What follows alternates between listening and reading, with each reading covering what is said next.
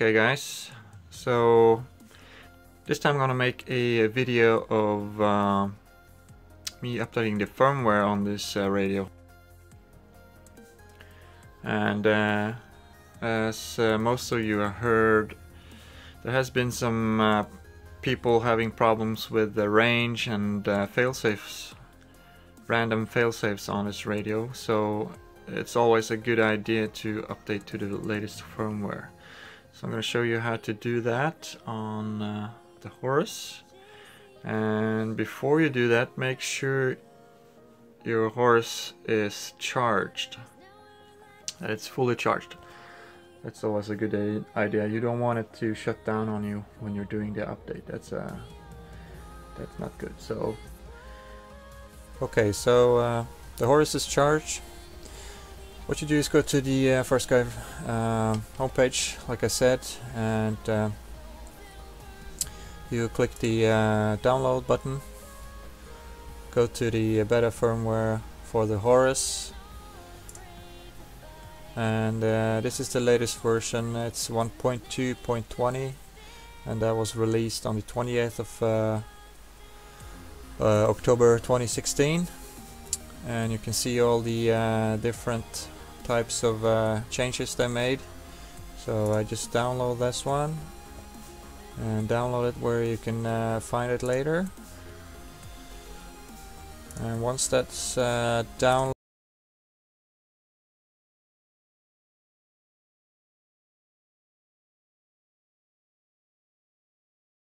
extract all the files extract them uh, somewhere where you will uh, find them again so I have made my own folder system here for the Horus extract.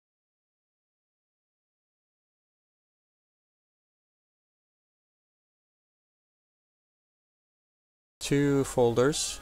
There's a bin folder and a DFU folder. Updating the firmware the way that I'm showing you now uh, you need will need the uh, the bin folder so in this folder you'll find uh, four files. You will find the mode 1 EU version and the mode 1 FCC version. Mode 2 EU version and the mode 2 FCC version. I have the mode 2 FCC version. So I will take uh, this file.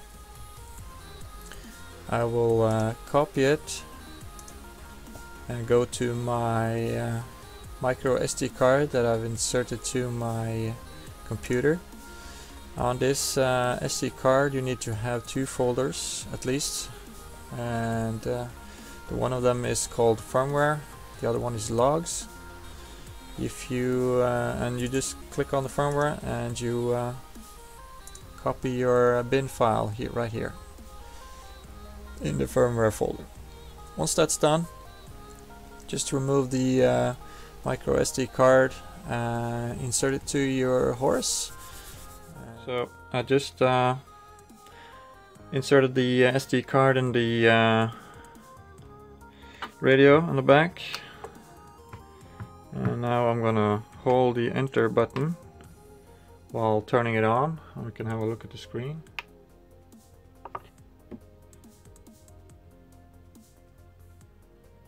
So first it's erasing the old version.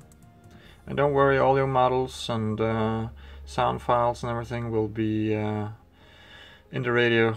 Uh, they will not be deleted. So erasing down, now it's flashing the new uh, firmware. Flash finish successful. So what you do now is uh, you reboot the radio one more time to um, update your internal transmitter as well. So uh, the one that's actually the internal module, the one uh, the one piece that actually is sending the signals to your receivers. So we switch off and we switch on again. Just gonna hold it for a couple seconds. Here we go.